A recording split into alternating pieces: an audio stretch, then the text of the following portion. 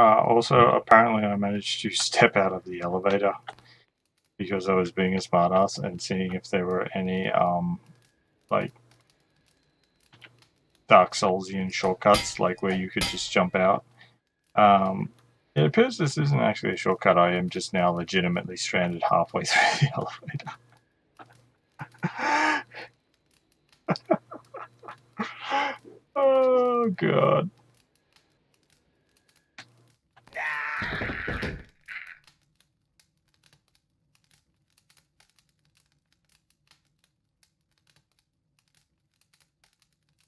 But you know what? I think it was worth it for getting that death footage.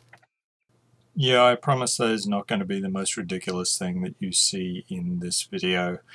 Um, somehow, despite it being an absolutely tiny level in vanilla Deus Ex, Caustic Creative have managed to make a whole video's worth of content just for, well, technically it's the graveyard level, but once you see what they've done to it, it's not really fair to refer to it as the graveyard level. Um, this one really does seem to be sort of iconic in the sense that it doesn't necessarily have racism. It doesn't necessarily have like more lambs added. It does, however, have a shitload of more level design added, and it's it's unfair to call it level design. Uh, this is what happens when level design has gone off to die. Oh well. Let's open it up. So what have they changed after you leave the Brooklyn Naval Yard? On the surface, uh, bugger all. They've done the usual thing of grabbing the edges of the map, stretching them out a bit, chucking in more trees. This truly is Deus Ex, but with more trees. Yes. Uh, they've ignored obvious areas of potential reworking, right like, say, the gatekeeper's house.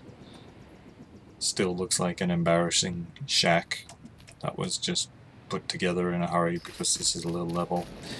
Dowd's tomb, pretty much exactly how it was left. Like, almost everything is exactly how it was. Uh, his computer's in the exact same spot. He's in the same spot. The contents of his computer is still exactly the same. There's no mention of anything different, really. In fact, the only real major difference I can find is the safe isn't covered anymore like it is in vanilla. Um, I don't know why.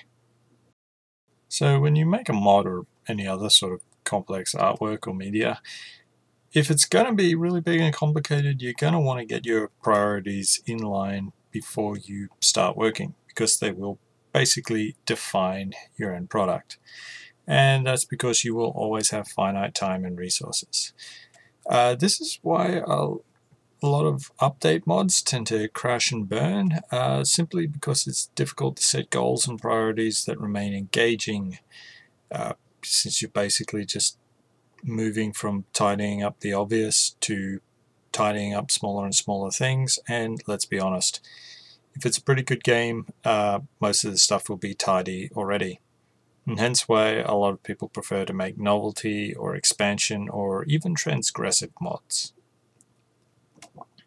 So when I talked about this uh, charming New Jersey shipyard thing, it was brought to my attention that this is actually a leftover mistake from vanilla, which would have been there because it wouldn't have been worth the time to fix it purely on the basis of when they're on crunch time, they've got a deadline, there's, you know, thousands or millions of dollars riding on it. Uh, fixing one little bit isn't a problem. Caustic Creative uh, at least seven years to make this, so they weren't so much stressed about the timeline. But they did already explain that they, say, didn't revise Battery Park because they didn't have time. They didn't make sure that the directions in dialogue matched what was on their new maps because they didn't have time. And here in this level, we find an Easter egg level. A nice little side bit that's just set aside to be discovered as a little extra.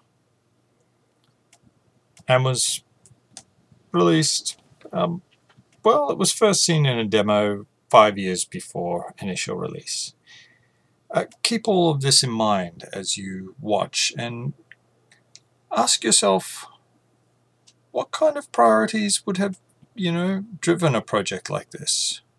What was the goal?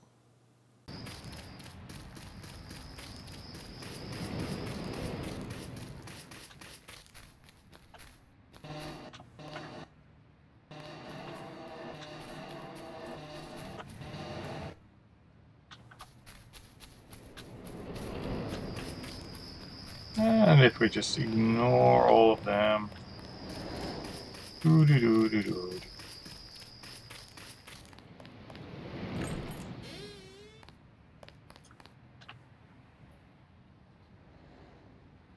Is this a crypt or a church?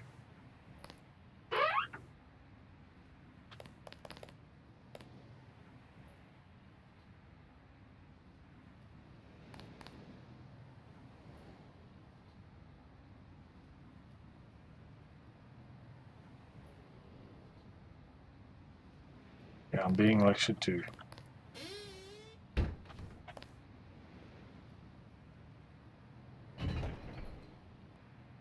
Okay then. Um,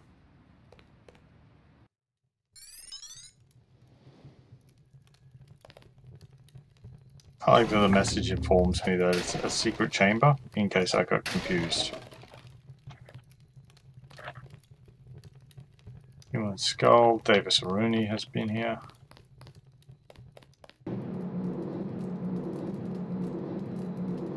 I feel that this elevator ride exists only because similar elevators exist in like Dark Souls and they thought that it would have the same effect somehow.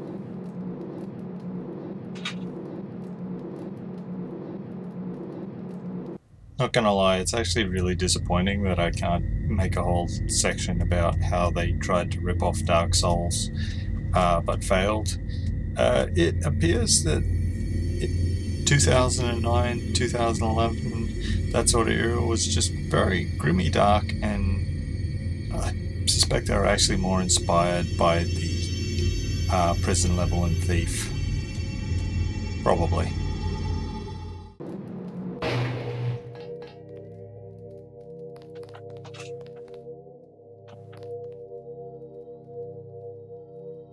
Does it go further down?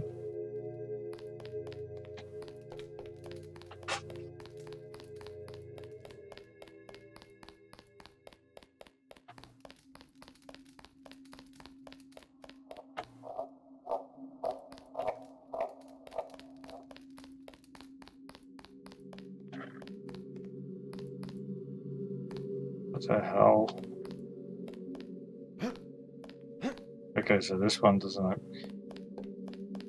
Who is in these tombs? Are they all for sumo wrestlers? I don't get it.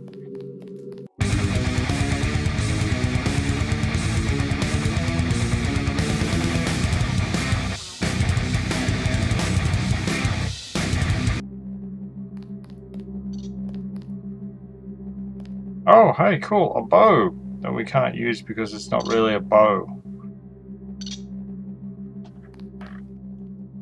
That's great. Um,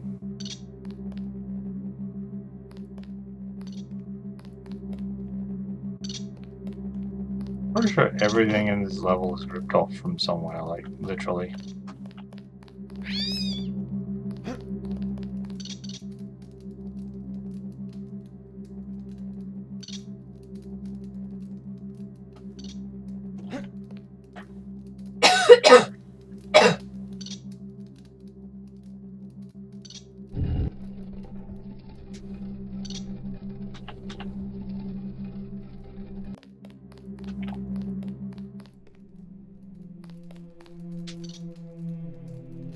Is William Shakespeare in here?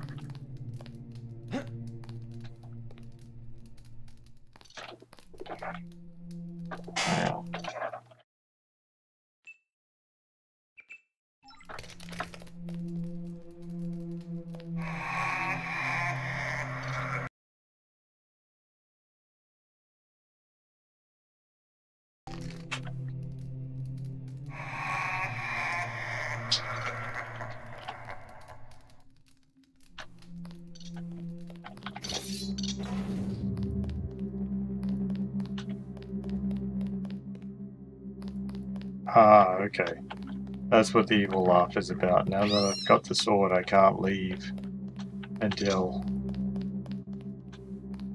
I presumably go downstairs and unlock something.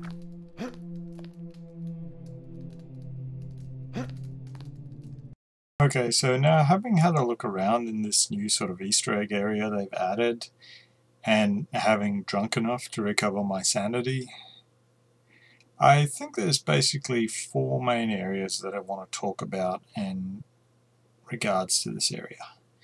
Adding new game areas in relation to the lore of the existing game, adding new game areas in relation to the puzzle design aspects of the game, uh, addressing player effort or investment versus the reward or the payoff that you're going to give to the player, and addressing how your priorities in your design will affect the player experience and generally communicate to the player.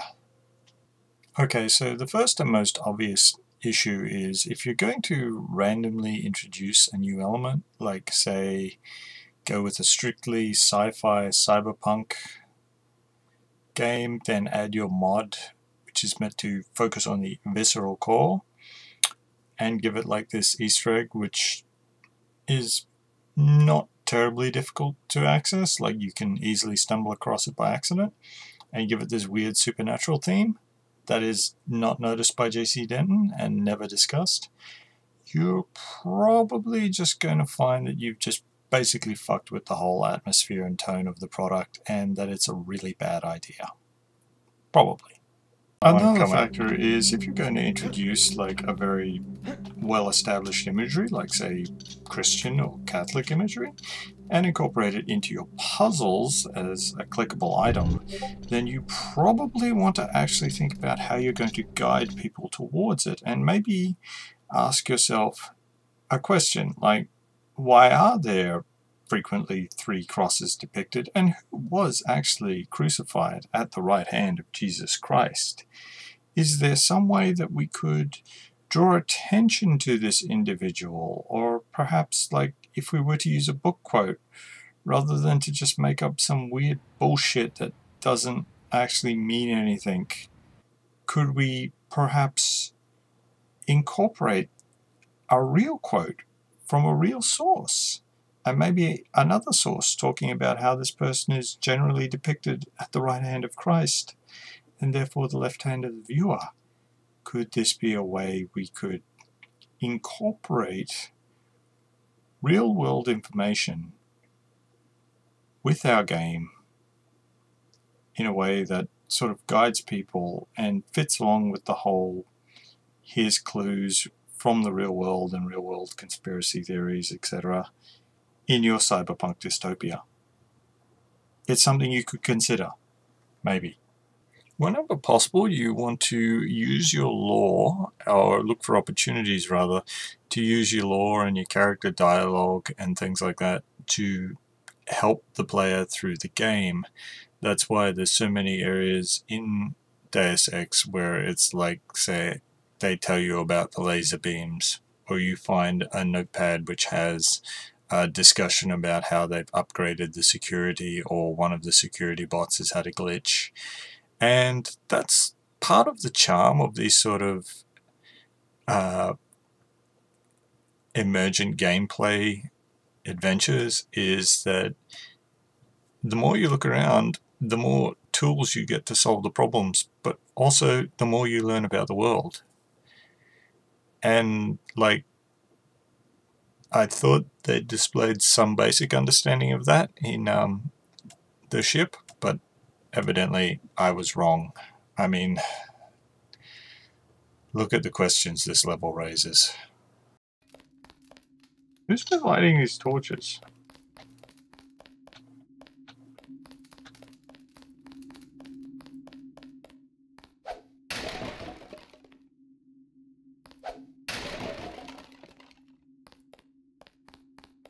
Why are there storage crates down here? Why do ancient catacombs have modern mutants and aug upgrades used to bait traps? Did the ancients foresee JC? Okay, so as well as being completely out of touch with the lore and the general design principles of the Deus Ex world, as well as the fluff that they've invented for this area, this trap also basically fails in terms of general game and puzzle design simply because it doesn't fit with Deus Ex.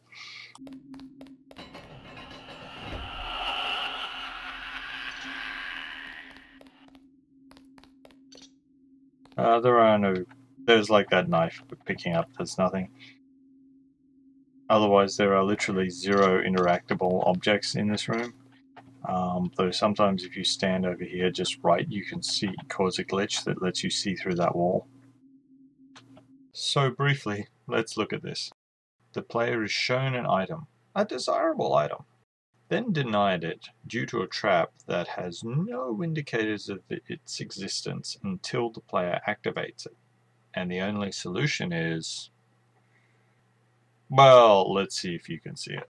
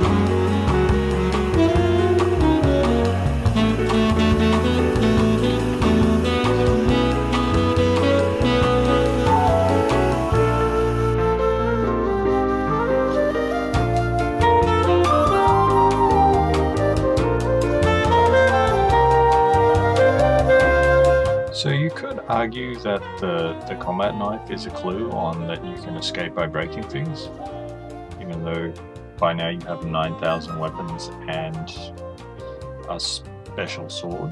But shouldn't that mean that other things are also potentially clues? Like, say, these three boxes around the corner. Could these be clues to how to solve the puzzle and still get, like, a reward? Let's find out.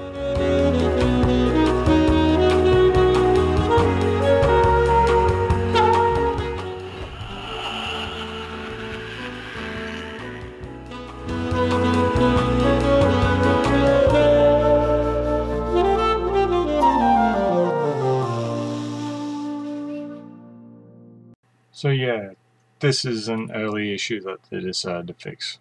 Making sure you couldn't get those two augs that exist in an ancient catacomb for no reason other than to lure you into the most pointless room.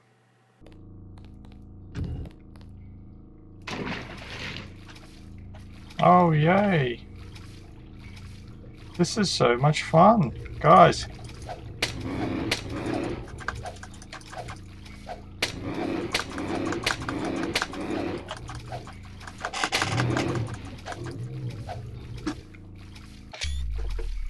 I haven't had this little fun since I played Dark Souls and got two curses on me at the same time.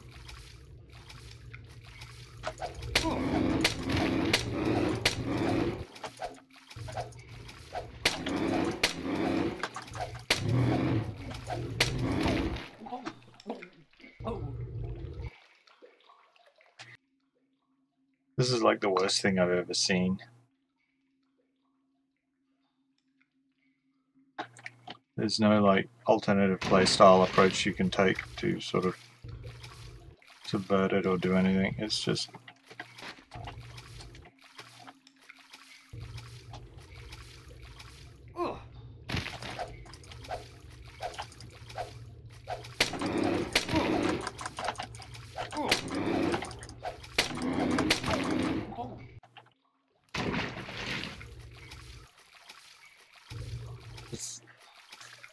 there's like this walkway here, which like you think maybe you can get up it, but nope.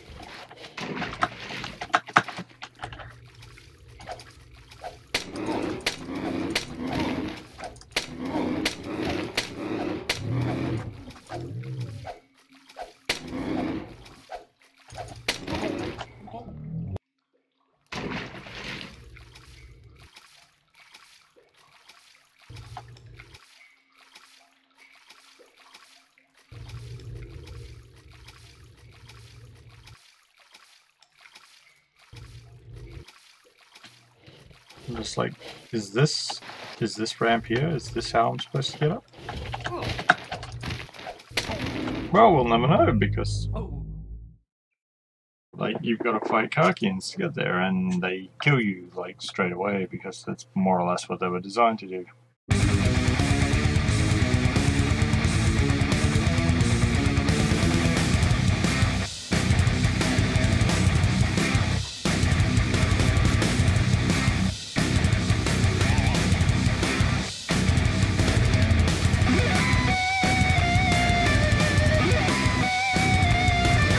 Should point out I've got like max regen. So if it's difficult for me to get through this with max regen, I don't really know how you get through this without max regen.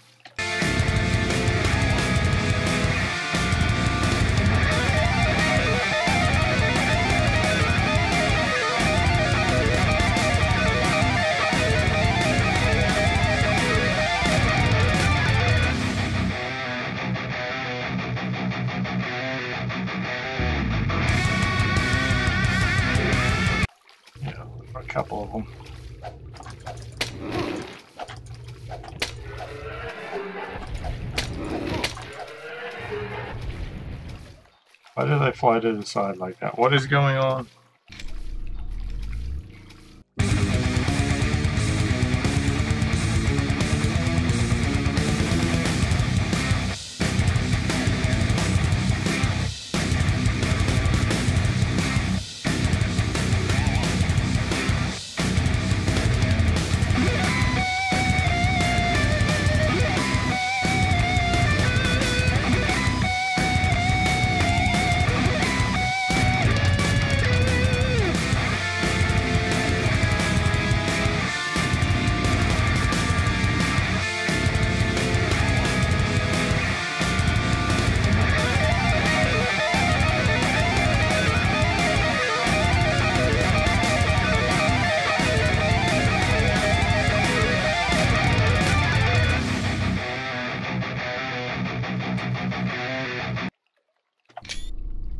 May be the worst thing ever made.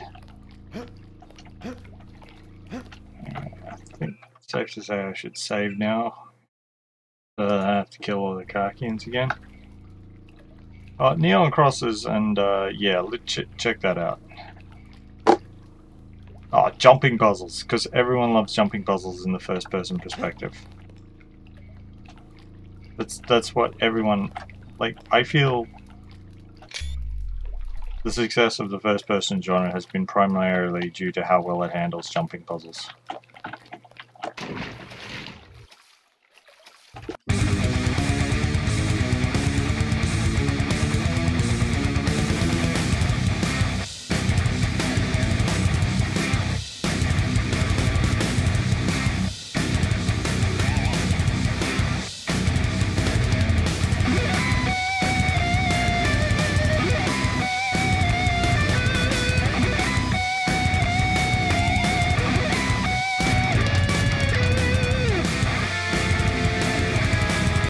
As part of the hilarity of this is uh, most of the um, the people who playtested this mod apparently playtested it with the um it? The bi- in biomod mode, so they would have actually had the um the ledge grab option if I remember correctly.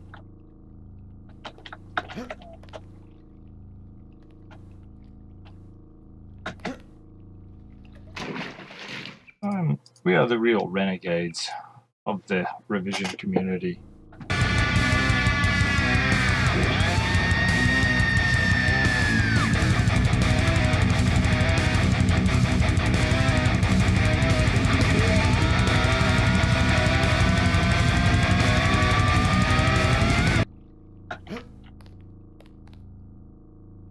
Okay, this is great. Um,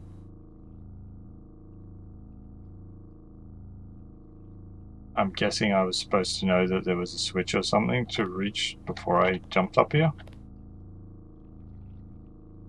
Instead, I've just wasted all that time uh, getting all the way up here to go, nah, mate, you haven't unlocked the thing.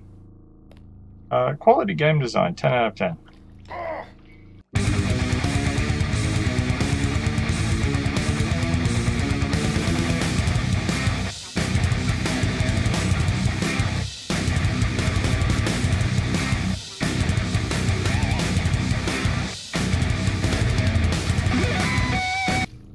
here we go.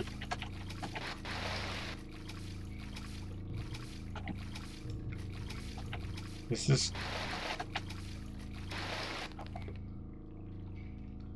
Okay, so this is how you're supposed to get up.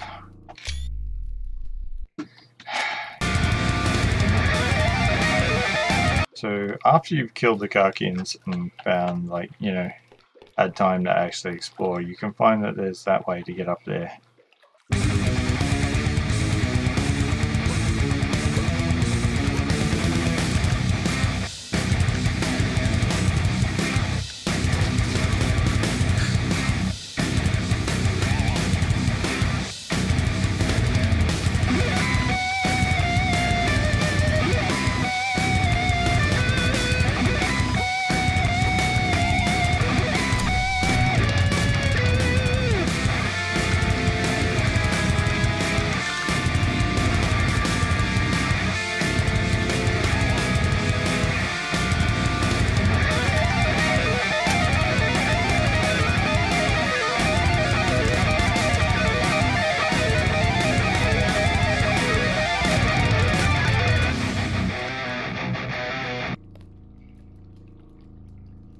This guy's body was made out of femurs.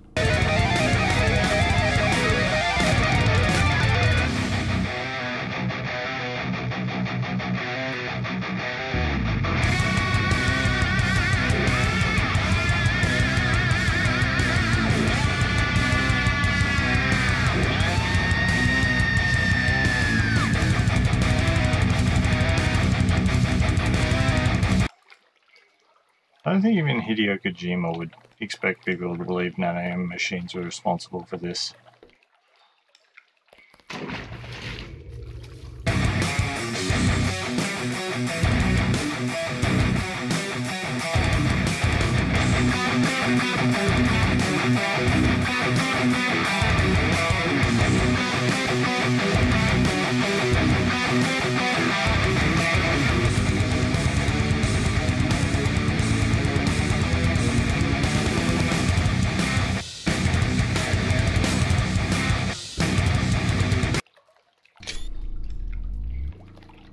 Ah, here it is. Now see, that unlocks that gate up there. So now there's a point to me doing this jumping puzzle that I did before.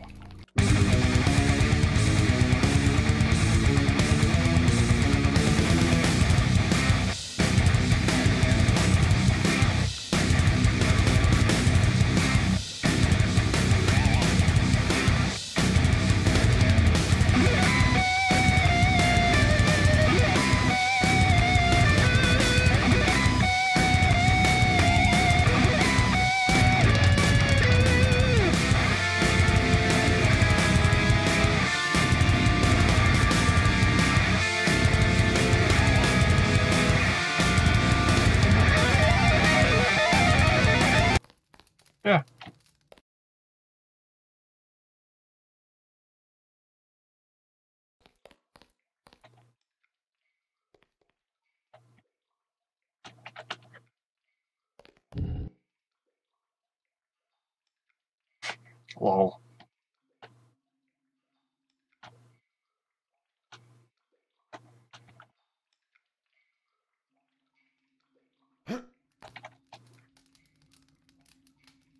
So basically my major issue with this is actually a really common one in not just video game design, but actually pen and paper role-playing design. uh, particularly stuff like Dungeons and Dragons and that. Uh, it's that this area isn't designed to be fun and there's not stuff available or uh, design philosophy thinking about what is the player going to try? Is the player going to think to look for this or are we just going to be a dick and put it somewhere where they won't know to look for it and waste their time for 20 minutes? Um, this is kind of popular amongst certain people who like to feel superior to others because it does create this sort of mindset that ha ha ha it took so long for you to work out my puzzle uh, you're dumb where the reality is your puzzle sucks what you really want from a good puzzle is it should be when people look at it it should first be infuriating and then once they solve it it the solution should be crystal clear. They should be slapping themselves on the head and going, "How did I overlook that? That's like so obvious now." Uh, in the case of this one, the solution is clearly just to avoid a massive area which they spent a ton of time in and don't go down there. Unless you want to kill Karkians, in which case, go down there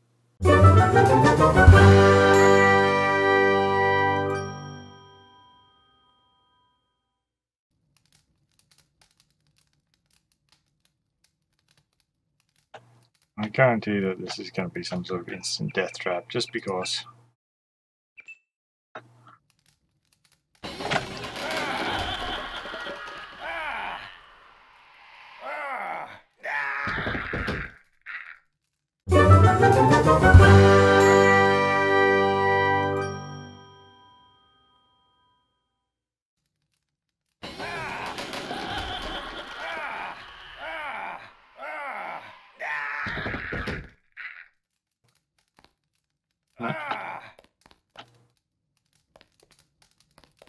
That area is just randomly.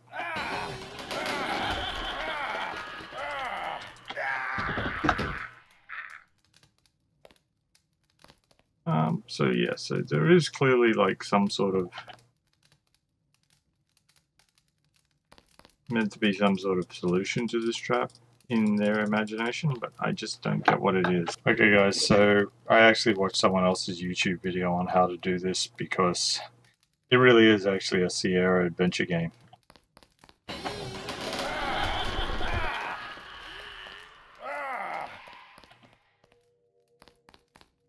Yeah, you've got to know that that magic brick there, that's that turns into a magic button once the trap has sprung, and not one nanosecond before.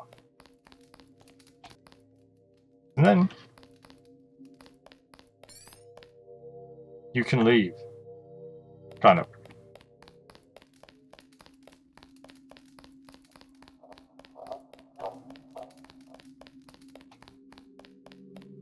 But like anything that you left in that original chamber,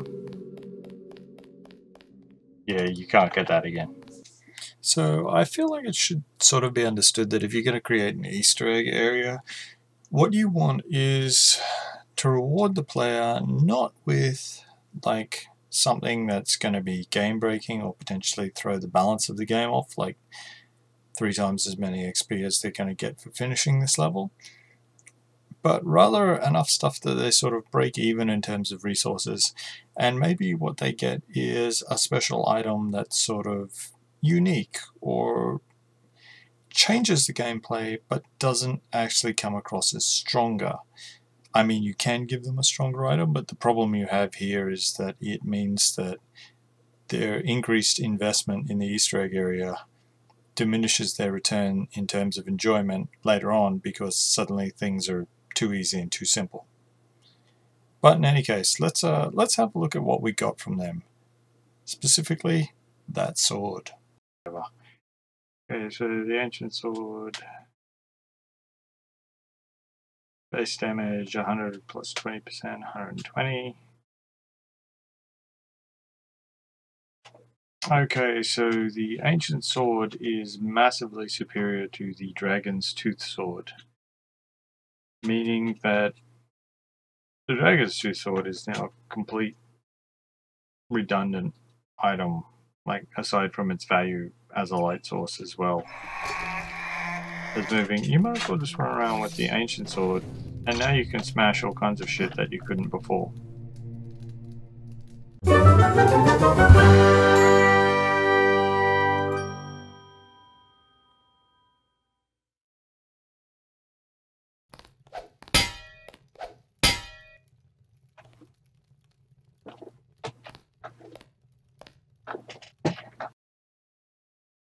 Base damage 100, so plus 20, 100%. Base accuracy 55, so it should at least be doing it.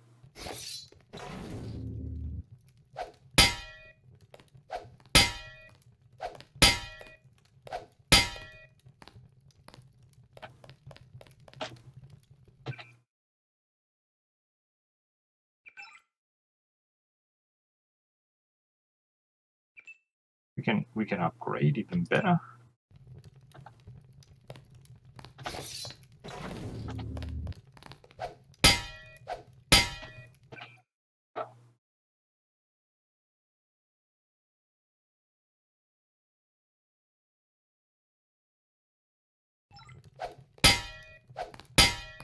Should be making mincemeat of this safe.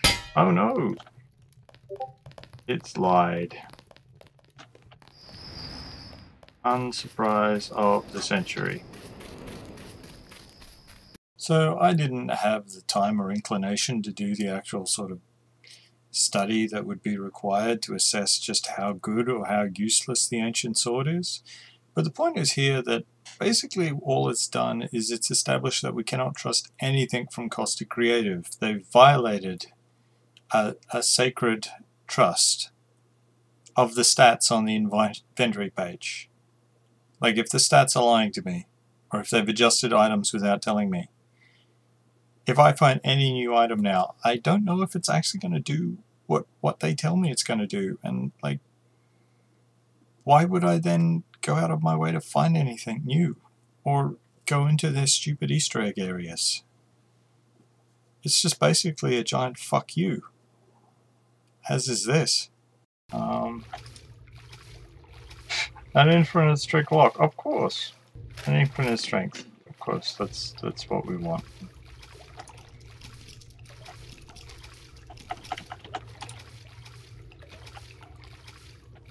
Uh, skulls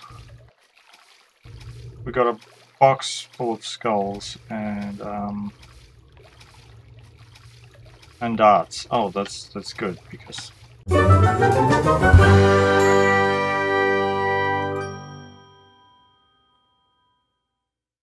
So when an area like this gets developed to this extent, um, and it has literally nothing to do with anything in Deus Ex, and it is in fact quite contrary to the feel, to the experience, to the gameplay design, uh, to the lore, to the well, to to the whole brand really. And you see how much effort it was to build this. Like, have a look at just how big and expansive this area is I'm pretty sure the reason that it's uh, it's been put on this level is because the graveyard level was originally such a tiny level that they could actually keep packing it full of assets and all the assets that they needed to make this without it being too much of a getaway. Unless you're one of those people who, once you turn up on this level, your frame rate just drops like an ugly baby because, well, your your resources are being chewed by things that you can't and should never see. But it really raises the question like, did they make this mod because they like Deus Ex, or did they make this mod because there was a Deus Ex modding community and it was a game where they could get a hold of tools and things and the community was at least by uh, 2007 2008 really eager for any sort of fresh take or reinterpretation on the game. I mean, it came out in 2000. Uh, it wasn't exactly a shiny new title, but it was a cult classic. And you know what? There are plenty of valid reasons to do a ridiculous project like this. Like I said, novelty, transgression, uh, just fucking around to learn how to work with the tools and how to actually create a mod. However, the thing is, Caustic Creative doesn't want to admit to any of these reasons. They uh, they insist these are not design problems. These are not out of character with the game. These are not oversights. These are just all apparently an alternative approach to how the game was supposed to be played. And I think there's a reason for that, and I think I understand what their number one priority is. And I can't say it's one that we should be encouraging people to make mods for, or even to, say, seek out official sponsorship just to help them with the chance of securing. It's, uh, it's not good.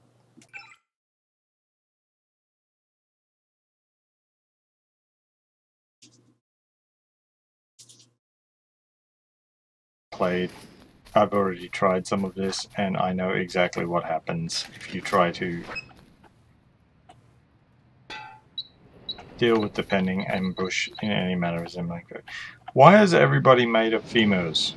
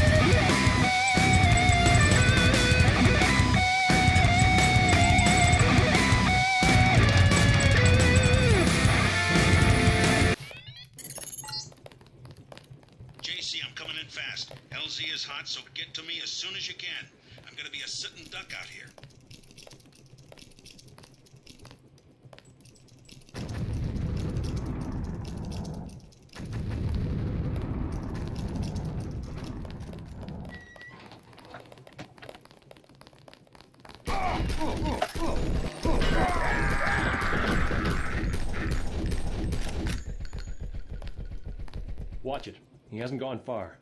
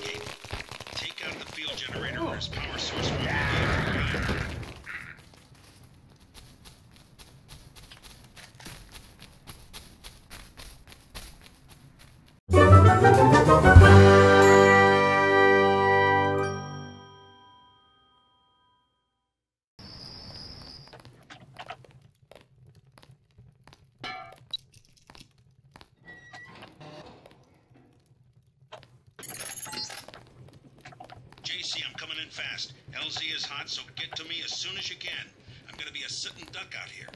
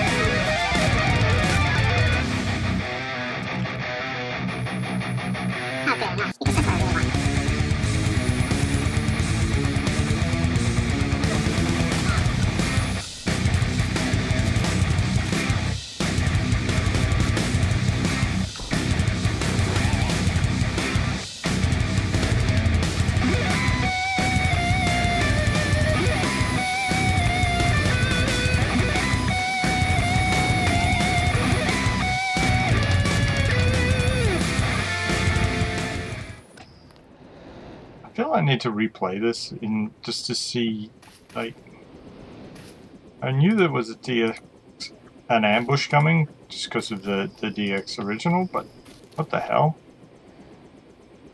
I'm pretty sure the original didn't throw that many guys at me for just, like, no reason.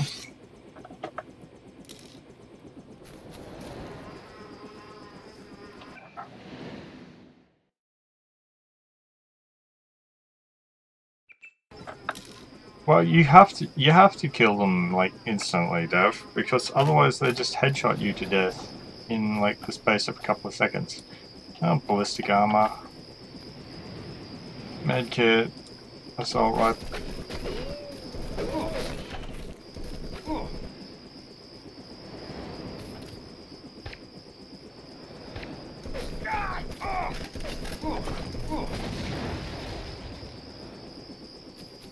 See, that was actually necessary. You see what happens if you try to fight them conventionally? They shoot your leg off.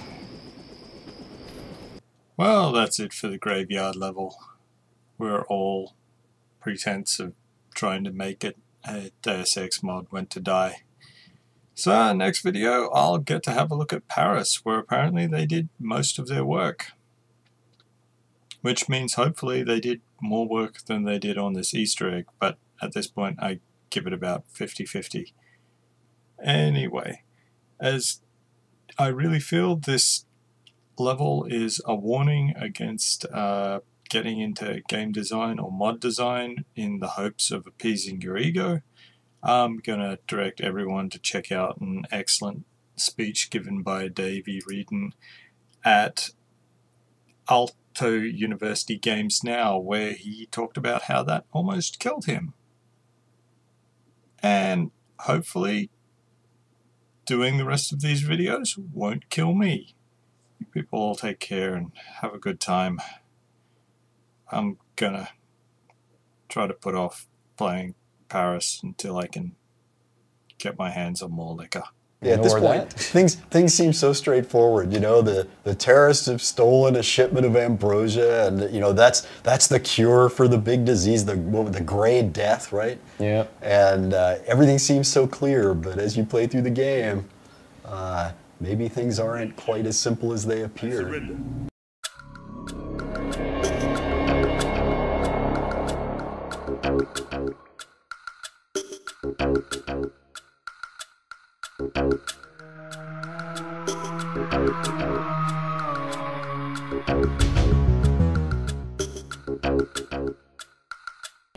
You die.